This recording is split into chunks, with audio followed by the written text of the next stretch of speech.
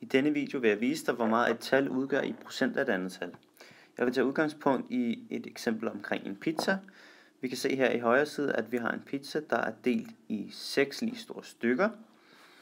Hvis vi så siger, at, øh, at vi spiser to af de her stykker, markerer lige to her, så vil det sige, at vi har spist to ud af seks stykker.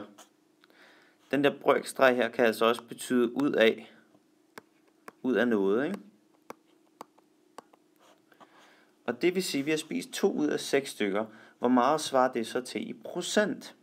Det man så godt, det er, at man dividerer det her to med hinanden, og 2 ud af 6, det giver altså 0,33.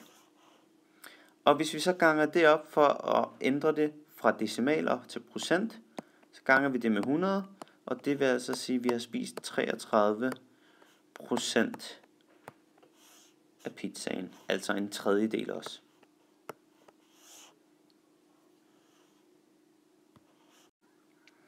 Og vi kan tage et eksempel mere.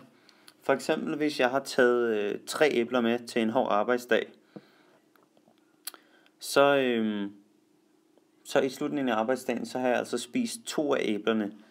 Det vil sige, at jeg har spist to ud af i alt tre æbler, og så skriver vi det altså op sådan her. Og når vi så dividerer dem her med hinanden, to tredjedele, det giver altså 0,67. Det er vores svar i decimaltal, og ganger vi det så med 100, så vil det give 67%. Det vil sige, hvis jeg har spist to ud af tre æbler, så har jeg altså spist 67% af mine æbler.